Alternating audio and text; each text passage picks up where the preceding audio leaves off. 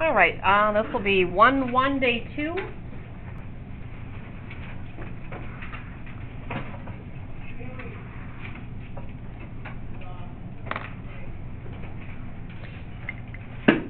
And the big idea that I thought I was going to get to yesterday but ran out of time is the midpoint formula, right out of Algebra 1.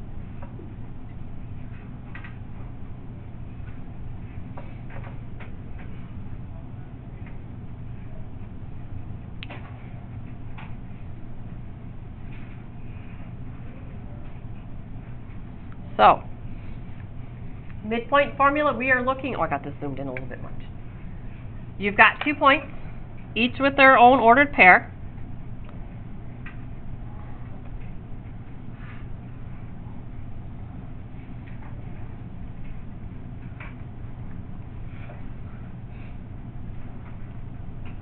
So x sub 1, y sub 1, and x sub 2, y sub 2. And we want to have a nice easy way to find the coordinates for that midpoint.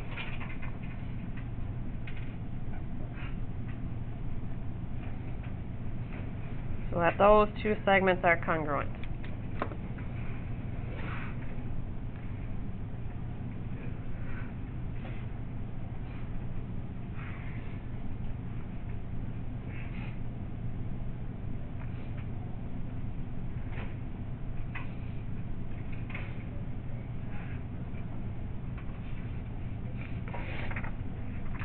Okay, now you can stop writing, just look. I want you to come up with a way where hopefully you can remember this without saying, oh, I gotta look at my notes to get this formula.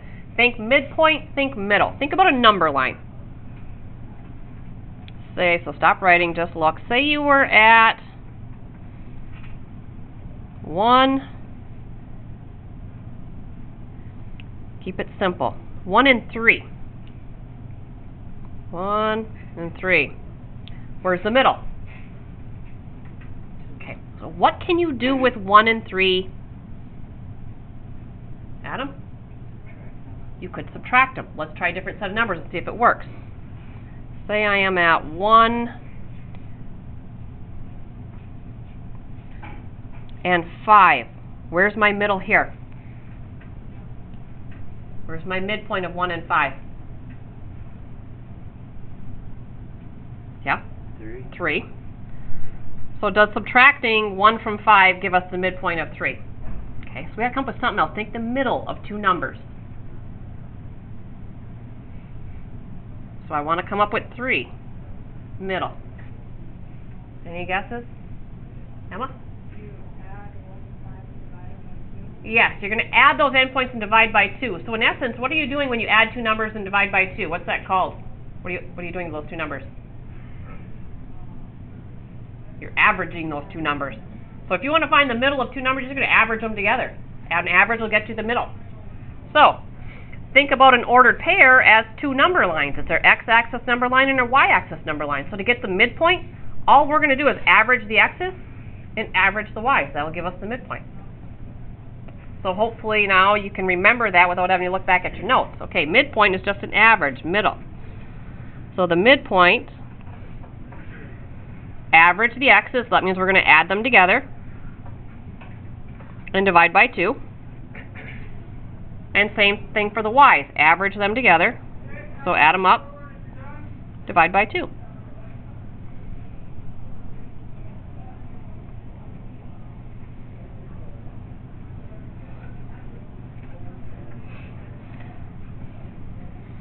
So let's go with straightforward junior high midpoint, and then I'll challenge you after that.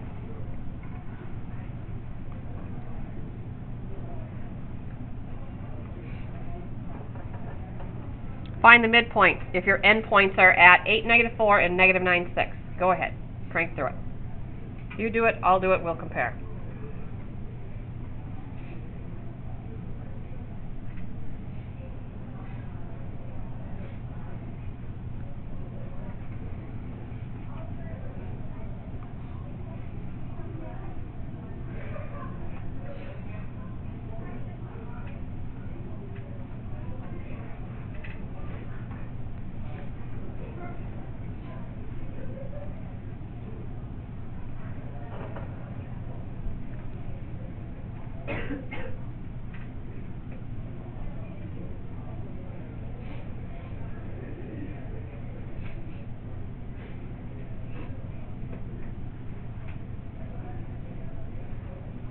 How'd that work out for everybody? They don't get any easier than that. Pretty straightforward. Add them up, divide by 2. Now the challenging one. If I give you an endpoint and the midpoint, can you come up with the other endpoint? This is an algebra set up and work backwards. So here we go. So one of the endpoints is going to be at 2, negative 8. The other endpoint, you don't know. That's what I'm going to ask you to find. But I do know the midpoint. The midpoint is at negative 1, negative 3.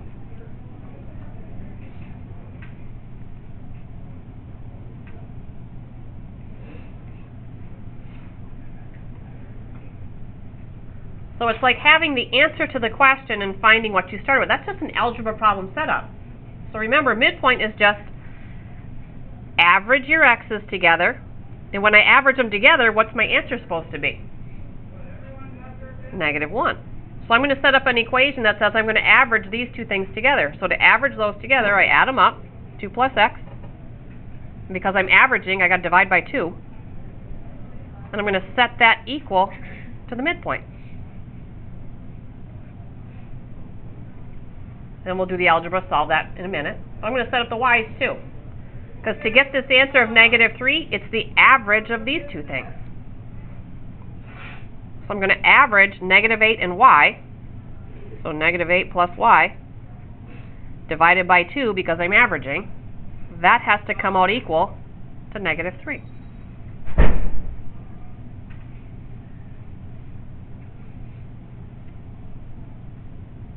Now it's your good algebra skills need to kick in. How are we going to solve this for x? What's going to be our first step? Yes? Multiply both sides by two. That'll eliminate the fraction. Perfect first step. So we're going to times by 2. And you can see it if you put 2 over 1. Times by 2. We'll do it over here too.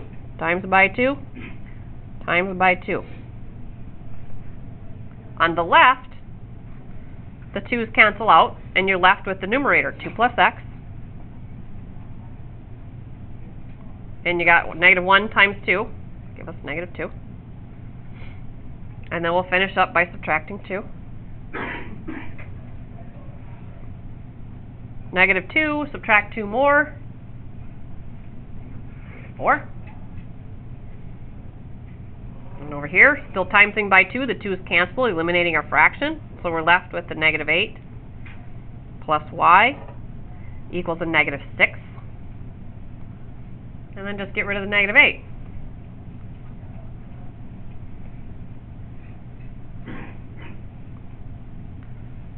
So the other endpoint was negative 4, 2.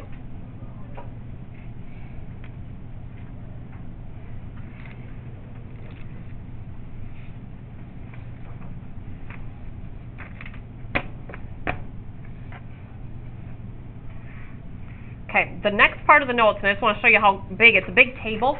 I mean, it takes me a whole page because I write big. I just want to make sure you got enough room to fit the whole table on your notes. If you want to start a new page, where you can see how big it is. I mean, I don't know how many lines it's going to take you, but just fair warning, don't want you to have three lines at the bottom and then complain. It's been known to happen.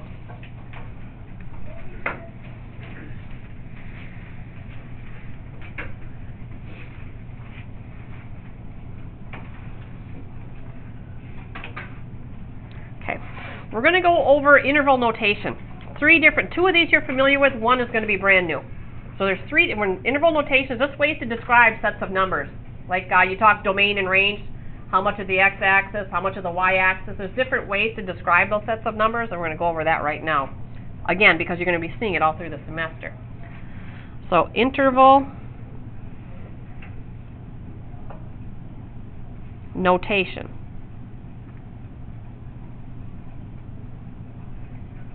is used to name a set of numbers.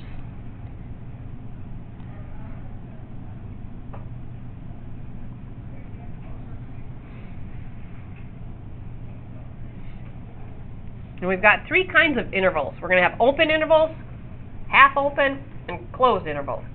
And then the three different ways to describe them. So our table's got to have four columns to it.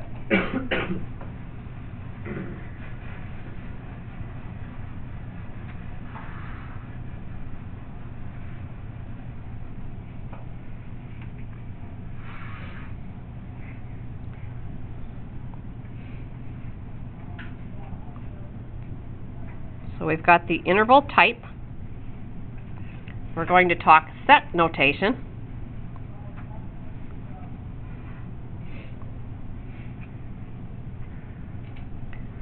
Graphing. And interval notation.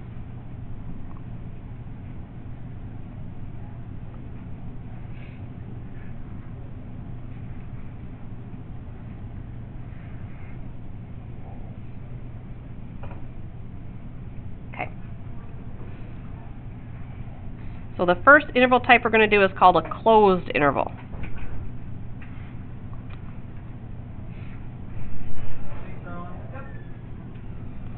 To be closed, both of the endpoints are included in the set. Both endpoints are included.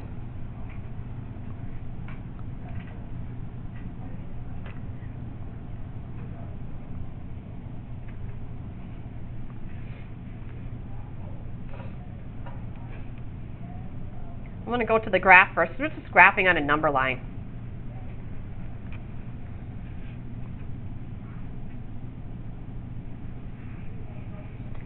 So say I wanted to talk about all of the numbers from 1 to 20, including 1 and 20. So you have your number line. You can start it at 1 all the way to 20. Remember the open circles and closed circles back from algebra? When are they open and when are they closed? When should you fill them in and when should you leave them open? Adam, you remember? If it's included.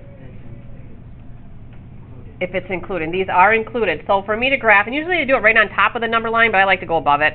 So we're going to have filled in circles at 1 and 20, and then we shade in between.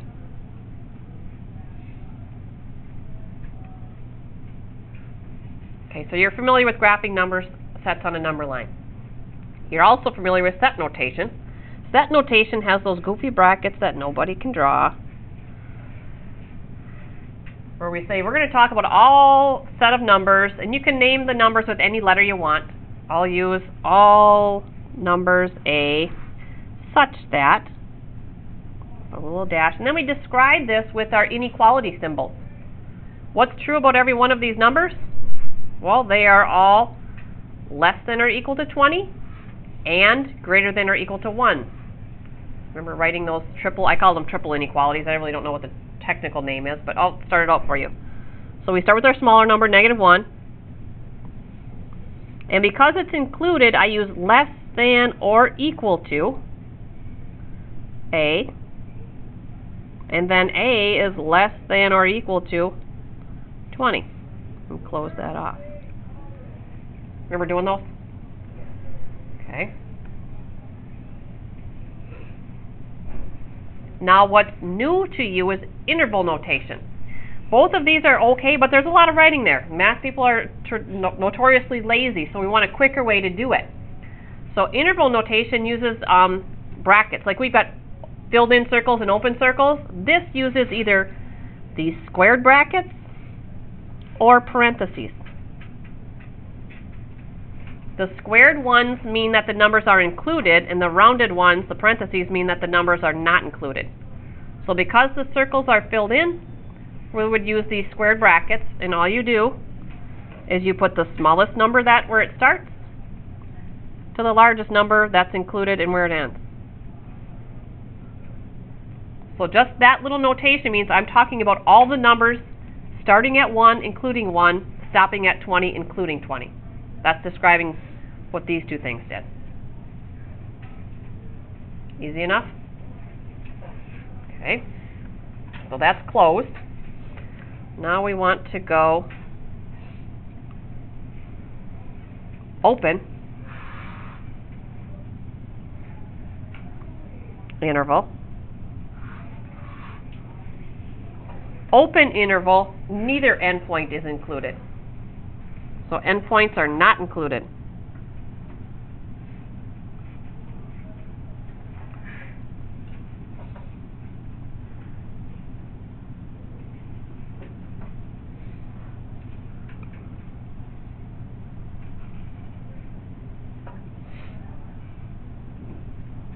Oh, I forgot to go back to this number line. Um, our textbook, this trig book, it's the only book I've seen do it. They don't do the circles on the line. Every other math book out there in the world, I think, does the circles. They will do this. They'll put the squared brackets on the line instead of the circles and then shade in between. Almost forgot about that. So instead of the circles, our textbook is going to use the brackets. But I think nine times out of ten, you'd see the circles. Okay, back to open now. Open, neither endpoint's included. So let's say I am talking about all numbers greater than 2, not including 2. So all numbers greater than 2. How would you graph that on a number line? Numbers greater than 2. Adam. Should open circle to the right. Open circle at 2. And then arrow to the right. Okay, so you got your number line. Set notation. Set of all numbers we're going to call G. Such that, what's true about all my numbers G? Using your um, inequality symbol.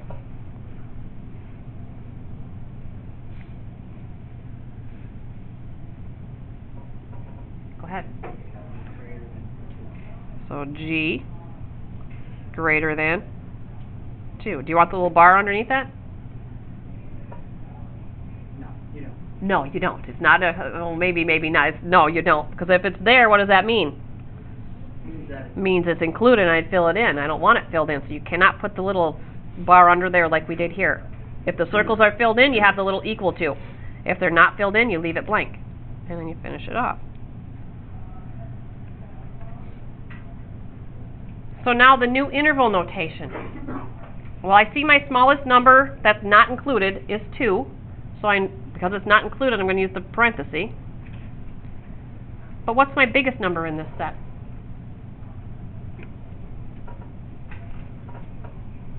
Adam? It is infinity. We're going all the way to infinity. And infinity will always have a rounded bracket.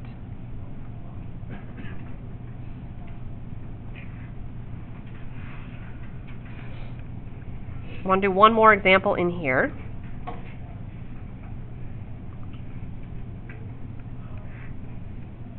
Okay, how about everything from negative 10 to 0 and not including them. So everything between negative 10 and 0, not including negative 10 and 0. So that's your open and in between. I think the graphing is obviously the easiest. Set notation.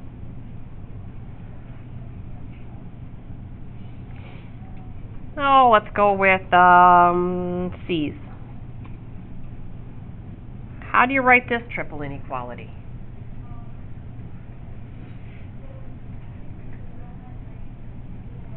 Okay, add one more. So it would be all number C such that negative ten is less than C, which is less than Yep, start with your smaller number, then get the right inequality, and it is just a less than C, and then a less than zero.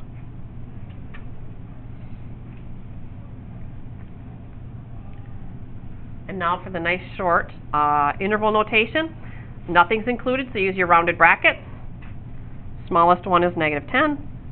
Biggest one is 0. What does that look like? That's the only thing you ever saw. What would you think that was? There was no context to it. Hmm? A point on a graph.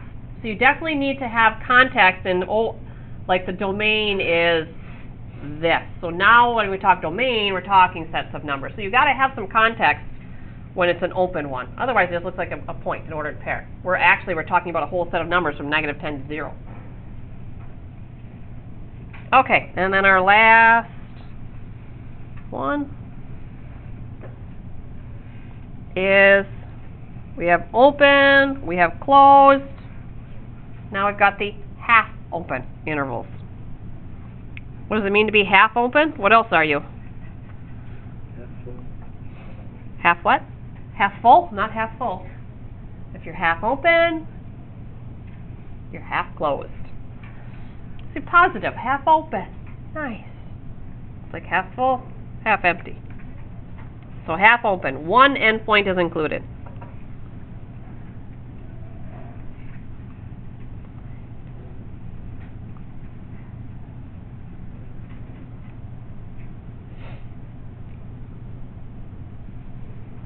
Okay, I'm going to give you the set set of all x such that x is greater than or equal to negative 3.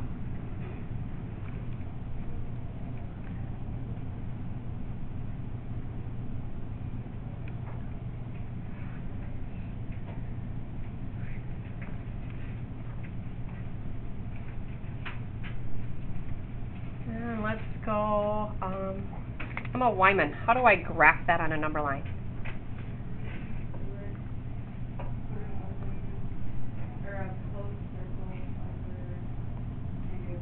Closed circle over negative 3, so I'm going to fill that in.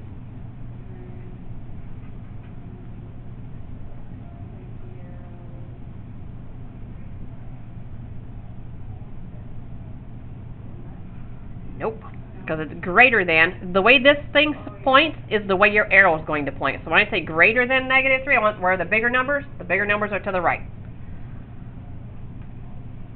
Okay, so that's what we want there. And let's go with uh, Skylar. How am I going to do the, I don't know who Skylar is yet. Where are you at? Oh, got my first absent. Skylar. Absent. Okay, let's go. Let's go Heidi. Yay. How are we going to do the interval notation for this one?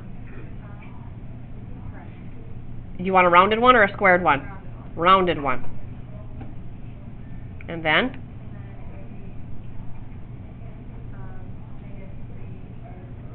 And infinity. And what kind of bracket or brace or what do you want here? Squared or rounded? Rounded. One thing is wrong there. Cooper, what do you think's wrong with that? It would be the squared one. Why is it squared, Cooper? That's what it means. When it's squared, it's included. When it's a parenthesis, it's not included. So when it's filled in, you need the squared. Oh, I forgot about doing our textbook way. So the textbook would do squared in the arrow. Jump back here. Our textbook, instead of the open circles, is going to do the rounded and the shading, just like we've got the rounded there. And then this one would be rounded and arrow. Okay. Now I want to go of all B such that B is less than or equal to negative 5.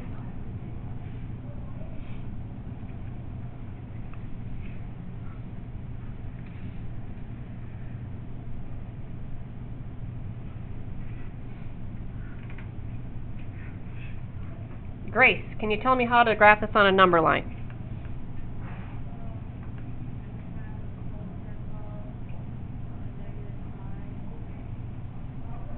Okay. Arrow to the left. You can look at the way that's pointing or think less than left. Okay, now the new interval notation. What do you want here?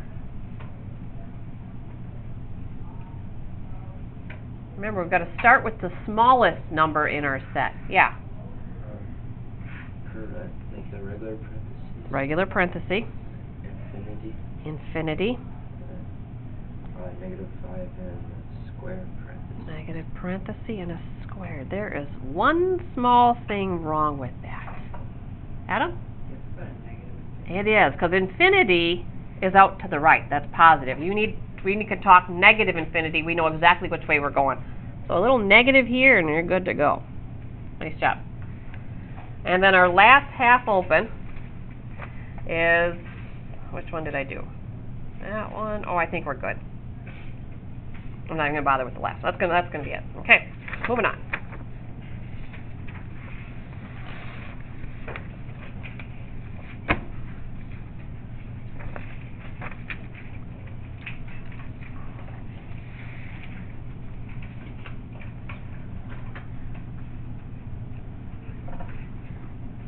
All right. Function values.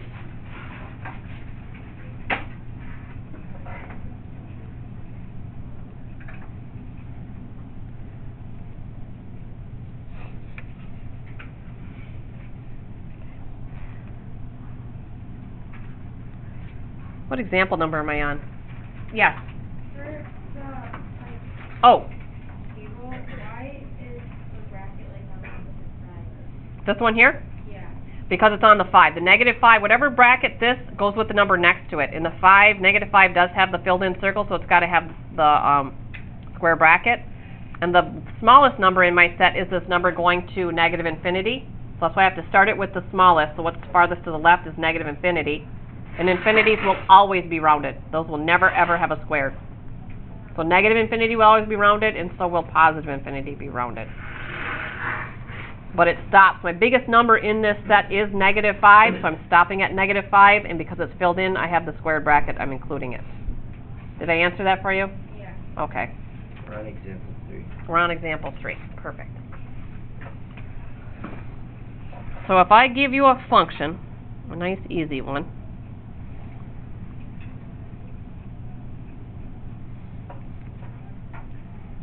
if we were to graph that function, what would it look like? You recognize that at all? Yes, Lexi? It would be a line. What do you know about that line? Go ahead. Slope is three and? Y. Very good. Okay. Didn't have to know that, just checking. So it's definitely a linear function. And if I ask you to find f of 4, what am I asking you to do? So I'm asking you to find the function value at 4. Yeah. Just put 4 in for x. Plug and chug. 3 times 4 minus 1.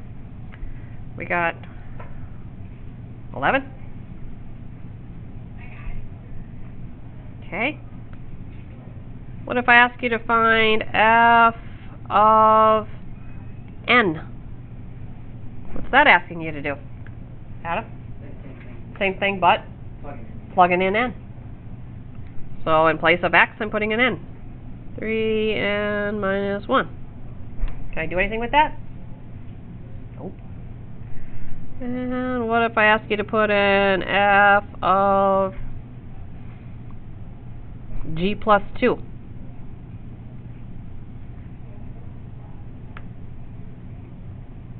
Go ahead, Adam. Same thing. You're taking, in place of x, you're putting in the quantity g plus 2. So 3. In place of the x, I'm putting in g plus 2. And then minus 1. Did I do that correctly? Adam? You can put the G plus two in that. Definitely has to be in parentheses. Now, can I simplify that? Yeah, what are we going to do? What's it called? Distributive property. So we're going to distribute that 3 in and get 3g plus 6, And I still have this minus 1. And now it's legal to combine the 6 and the minus 1.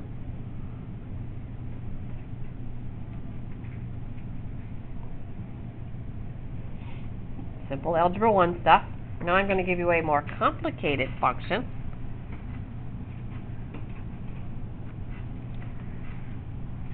f of x 3x squared minus 2x plus 1. If you were to graph that, what shape would you see? Adam. Parabola. Parabola. See, Mr. Drew taught you well. That is a parabola. Okay, start easy. f of, let's go, negative 3. Go ahead, plug negative 3 in, crank through it, see what you guys get. I guarantee not all 30 of you are going to get the right answer here. It's way too early in the year for everybody to get their algebra right.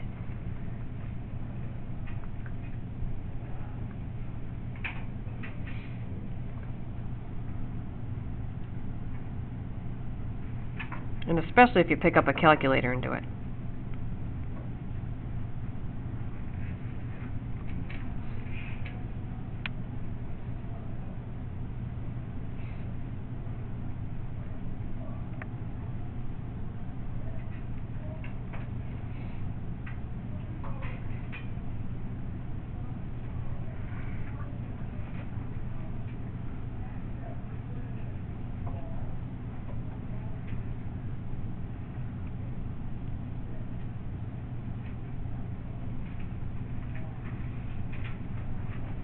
Thirty-fours? Most of you? If not, take a look. Okay. We're going to end with the super, super challenging one.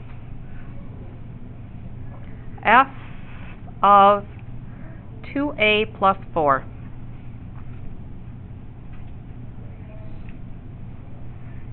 So again, wherever we see an x, we're going to put in the quantity 2a plus 4. So it's 3. Substitute in for x, and we're going to square it. So that now becomes 2a plus 4 squared minus 2 times the 2a plus 4 plus 1. Okay, I don't want you to start on your own because about half of you will do this wrong. How do I know this? Because I've been sitting in this chair for a long time. Many of you, I know, don't even lie. If I said, okay, start simplifying this, expand it out, will want to distribute this in. Am I correct? Some of you want to do that? Don't lie. What do I have to do to actually square this quantity here?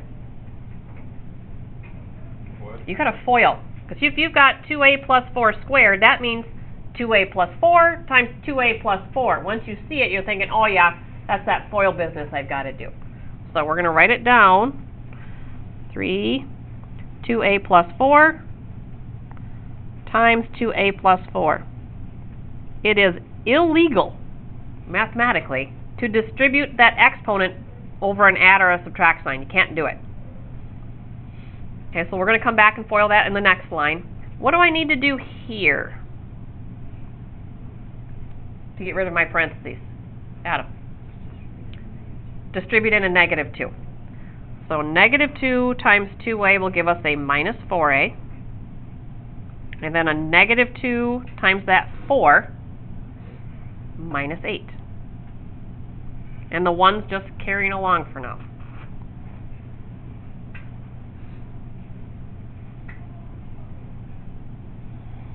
Back to this first term. I actually have three things here multiplied. 3 times this quantity times this quantity.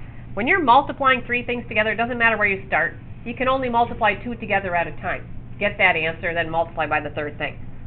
So, you've got options. You can either distribute the 3 in first and then FOIL, or you can FOIL first and then multiply by 3. Both are legal, both are about the same amount of work. Which one you want to go with? Adam. FOIL. Alright, so we're going to save the 3. That's going to stay, which means I'm still going to need a parenthesis.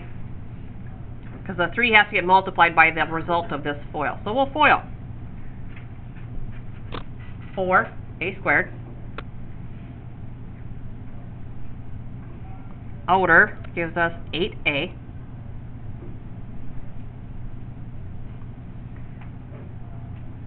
Eight A. And then sixteen. I think I'll take the time to combine the negative 8 and 1. So negative 4 is carrying along. That'll give us a minus 7 there. You can distribute, and then combine these two terms, or you can combine and then distribute. I think I want to make that 16a. Eh? And now distribute. So the 3 is going in. 12a squared. Uh, 3 times 16, let's see, that's going to be 8, 48. A plus 48 minus 4A minus 7. And we're ready to finish it up. 12A squared. Uh, let's see, A's combined, that's a 44 and 41. Okay. So, I gotta go back and pick up the midpoint stuff that I didn't get to yesterday. Which was, we stopped at 42.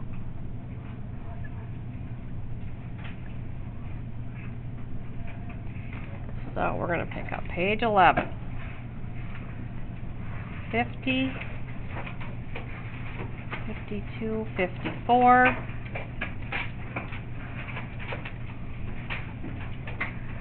Fifty-five,